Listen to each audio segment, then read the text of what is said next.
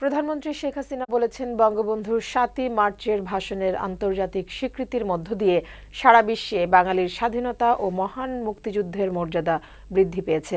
জাতির পিতা বঙ্গবন্ধু শেখ মুজিবুর রহমানের সাত মার্চের ঐতিহাসিক ভাষণ বিশ্ব প্রামাণ্য দলিলের স্থান পাওয়া উপলক্ষে পাঁচটি প্রতিষ্ঠানকে ইউনেস্কোর সনদ হস্তান্তর অনুষ্ঠানে তিনি কথা বলেন। এ সময় শেখ হাসিনা বলেন, শিগগিরই উন্নয়নশীল দেশ হিসেবে স্বীকৃতি পেতে যাচ্ছে বাংলাদেশ। আরও জানাচ্ছেন জয়দেব দাস।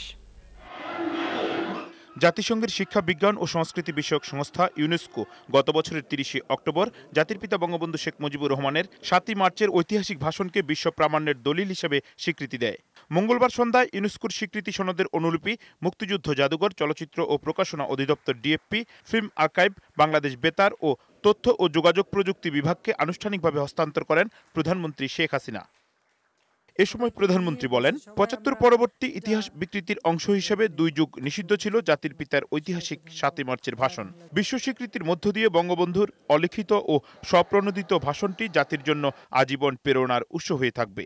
তিনি বাংলাদেশকে চাইতেন যে একটা ক্ষুধামুক্ত দারিদ্র্যমুক্ত উন্নত সোনার বাংলা গড়ে তুলবেন। শেখ হাসিনা বলেন জাতির পিতা তার ঐতিহাসিক এই ভাষণের মধ্য দিয়ে জাতিকে শুধু স্বাধীনতাই নয় অর্থনৈতিক মুক্তিরও পথ দেখিয়েছেন। এখানে তিনি শুধু স্বাধীনতার কথাই যে বলছেন তা কিন্তু না বাংলাদেশকে স্বাধীন করবেন।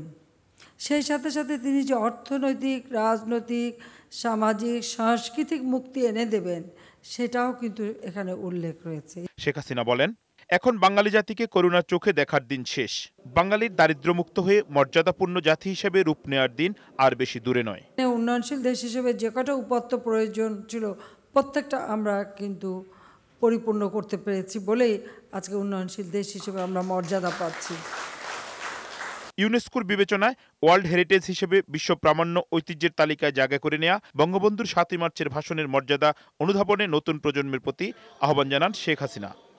জয়দেব দাস বৈশাখী সংবাদ ঢাকা।